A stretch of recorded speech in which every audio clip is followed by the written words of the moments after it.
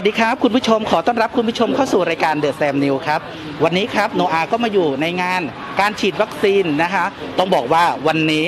ได้รับความสนใจจากประชาชนอย่างมากเลยครับ เดี๋ยวเราไปดูบรรยากาศข้างในงานกันว่าประชาชน ให้ความสนใจในเรื่องของการฉีดวัคซีนมากน้อยขนาดไหนกันครับ ไปดูกันเลยครับ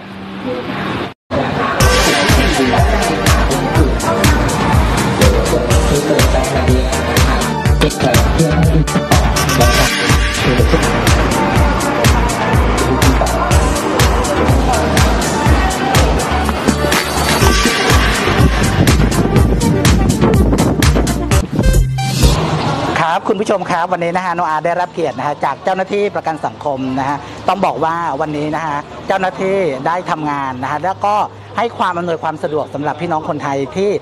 มารับการฉีดวัคซีนโควิดตรงนี้นะฮะเดี๋ยวเรามาสัมภาษณ์ความรู้สึกกับพี่เจ้าหน้าที่กันเลย สวัสดีครับสวัสดีค่ะวันนี้มีความรู้สึกยังไงบ้างในการที่พี่น้องคนไทยมาฉีดวัคซีนตรงนี้ครับก็ดีใจนะคะที่ว่าได้เป็นส่วนหนึ่งในการขับเคลื่อนให้กับแรงงานที่ว่าเขาได้มาฉีดวัคซีน เพื่อที่จะให้ประเทศไทยแรงงานทั่วไปเนี่ยจะสามารถเดินหน้าต่อไปได้ครัค่ะบครับถึงแม้ประกันสังคมช่วงนี้เราจะทำงานหนักนิดนึงนะคะ แต่ว่า เราก็ยินดีที่จะทำนะคะ เพื่อพี่น้องแรงงานให้สามารถทำงานต่อขับเคลื่อนประเทศไทยต่อไปได้ค่ะได้ครับะอ่าอยากฝากชวนเชิญพี่น้องคนไทยนะฮะมาฉีดรับการฉีดวัคซีนตรงนี้กันครับ ค่ะ คืออยากจะชวนชวนว่าตอนนี้ถ้าเกิดว่ามีช่องทางไหนให้ลงทะเบียนลงไปก่อนนะคะ แล้วไม่ต้องกลัวนะคะ ฉีดเนี่ยไม่อันตรายทุกคนที่ฉีดกลับไปแล้วเนี่ยทุกคนสบายดีหมดไม่ต้องกลัวว่าวัคซีนยี่ห้อไหนจะตอนนี้มีที่ไหนฉีดได้ฉีดก่อนนะคะได้เลยครับค่ะ ครับอ่าคำถามสุดท้ายอยากฝากถึงบุคลากรทางการแพทย์นะ ที่ได้สละเวลาของตัวเอง ช่วยเหลือพี่น้องคนไทยที่ติดโควิดกันตรงนี้ครับ ค่ะก็อยากจะเป็นกำลังใจให้ทางบุคลากรทางการแพทย์นะคะ ครับ เพราะว่าประกันสังคมเนี่ยมาเพิ่งทำตรงเนี้ยแค่ไม่กี่วันเนี่ยเราก็รู้สึกเอ่อค่อนข้างจะงานหนักเนาะครับแต่บุคลากรทางการแพทย์เนี่ยซึ่งรับงานด้านนี้มาเป็นปีแล้วตั้งแต่ปีที่แล้วจนถึงปีเนี้ยค่ะ ก็รู้สึกว่า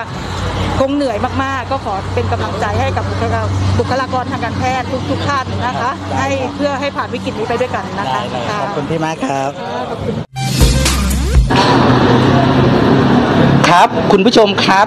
วันนี้นะฮะโนอาก็มาอยู่ในบรรยากาศของการฉีดวัคซีนนะฮะต้องบอกว่าได้รับการตอบรับจากประชาชนพี่น้องคนไทยอย่างล้นหลามกันเลยนะครับ เรียนเชิญนะครับรณรงค์ให้พี่น้องคนไทยทั้งหมดมาร่วมกันฉีดวัคซีนนะฮะเราเชื่อว่าประเทศไทยกลับมาแน่นอนครับ